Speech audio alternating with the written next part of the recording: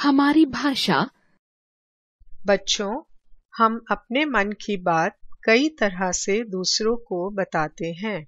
भाषा ही वह साधन है जिसके द्वारा हम यह कर पाते हैं।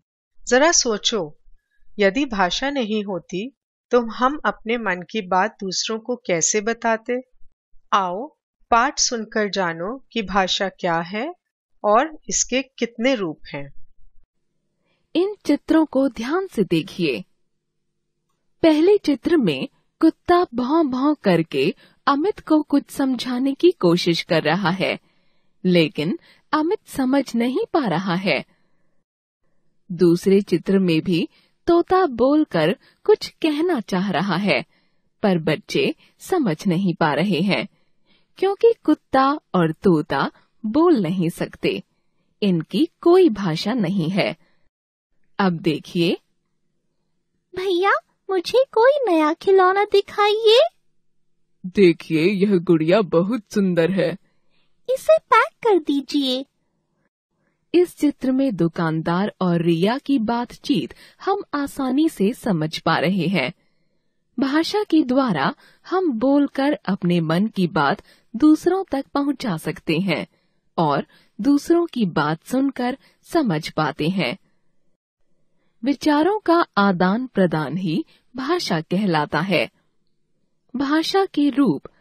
अब इन चित्रों को देखिए कि इनमें क्या हो रहा है।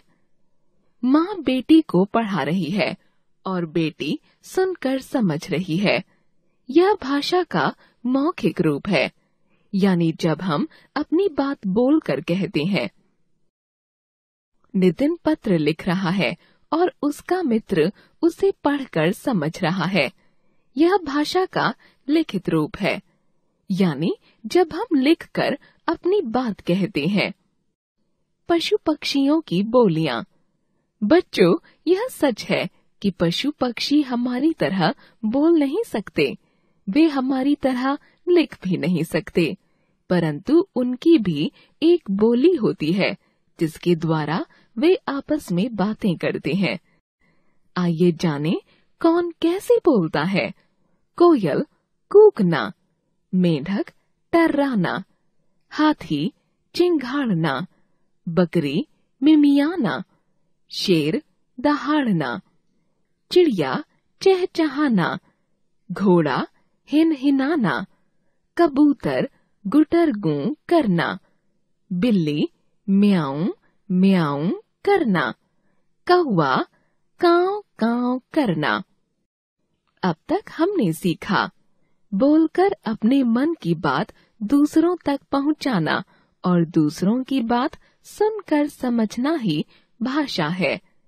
भाषा के दो रूप हैं, मौखिक और लिखित। पशु पक्षियों की भी अपनी बोली होती है।